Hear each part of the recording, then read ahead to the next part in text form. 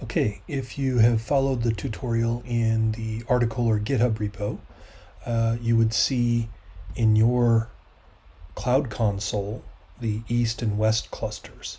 But what I thought I would do is show a quick example of how uh, deploying a simple pod to the uh, GitHub repository, uh, which I can view here. And if you look into the K8s config, it just has namespaces, RBAC, service accounts. But if I deploy something to it, then we can see it uh, appear on the clusters in real time. So with real quick, let me uh, set up the terminal.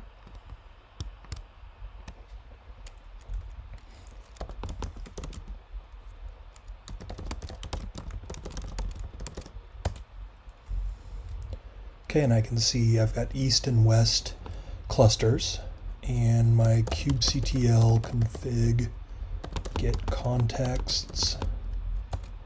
So I just have Docker for desktop on my Mac, but I need the contexts for both of those clusters.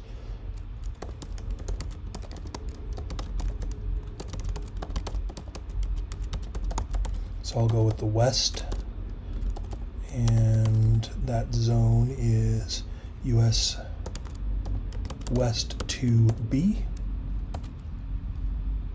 Okay, and I'll do the same thing for east.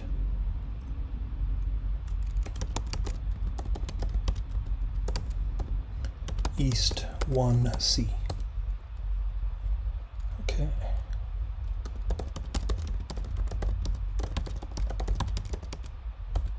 Okay, so those are really long names. I'm going to rename those real quick. So config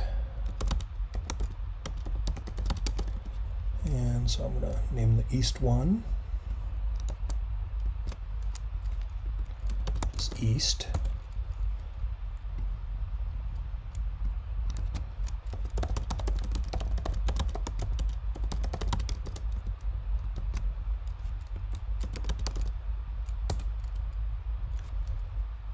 Okay. All right, that's a lot easier. So uh, I'm going to set up the uh, terminal so it's easier to see this using uh, tmux. So hold on just one second here. Clear my screen. New session, and we'll just call this Argo CD demo. Oh.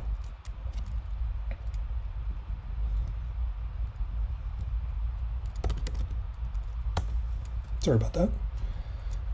And I want to create uh, east and west, but then also have a terminal for doing commands. So I'm going to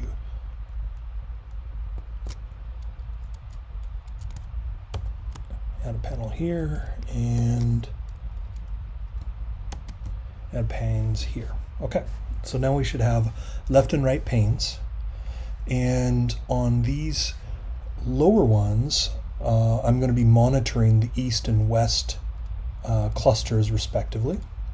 So if we just do a watch kubectl context east, and then we'll do a namespace test namespace and get all.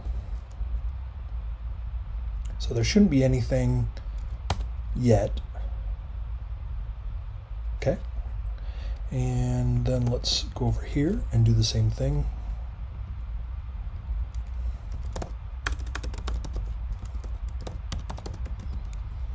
Uh, kubectl context west.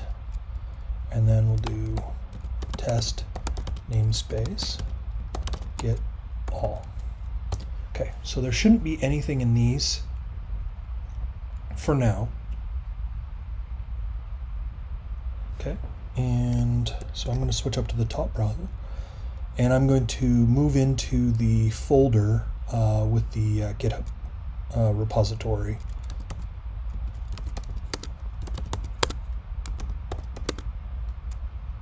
And like in the tutorial, or you can see this is the structure, and I'm going to move to the K8s config directory.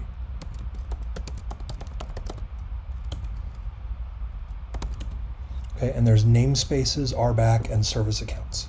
So what I'm going to do is really quick create a pod and then push that pod to the Git repo. Uh, I might temporarily pause the video and then let the servers uh, fetch them because uh, they're probably on different intervals, but uh, we'll see what happens. Okay, so a little trick to create a pod from scratch is just using the kubectl run command. And then I'm going to name it Nginx. I'll use the image Nginx. Dry run equals client. And the output is YAML. And we'll call this pod.yaml. Could be Nginx or whatever, but normally we wouldn't put it in the server configs. This is just for demo.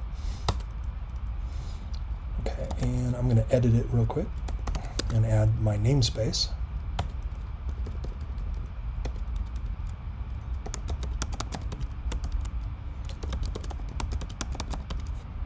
And we could tweak it any way we want or set, set a certain port or whatever, but for now we'll just leave it alone. Okay, so I just need to push this up to this repo.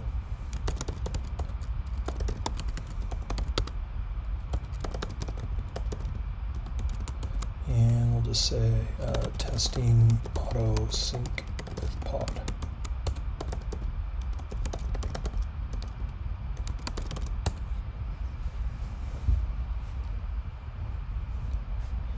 Okay. So this pod is pushed up to the Git repo, and we can confirm that and check in GitHub real quick. And refresh this page. And now we see this pod.yaml. Back to our terminal. And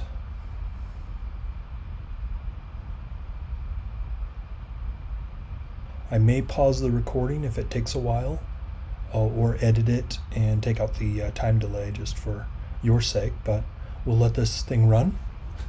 And we should see both in the west and east clusters, they deploy uh, Nginx. And just to confirm here real quick, back on the workloads,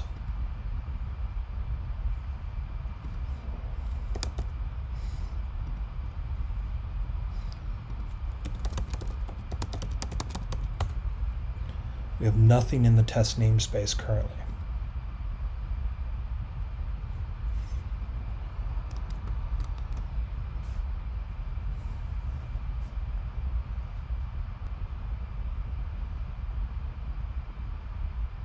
Okay, on the left hand side, we can see in the west cluster, Nginx is, has been deployed already. Oh, and in the east cluster, so that didn't take very long. Uh, now we've got Nginx running on our server and all we did was push it to a Git repository. Let's confirm that in the Cloud Console. And I didn't even have to pause the video. so let's refresh. Look at that. We've got Nginx running in the east and west clusters. Now, let's remove them, the pod YAML from the GitHub repo. And since we put on auto sync and purge, it will remove this app from our cluster. And of course, that's optional. So let's go back to our terminal, clear the screen, and pod.yaml, commit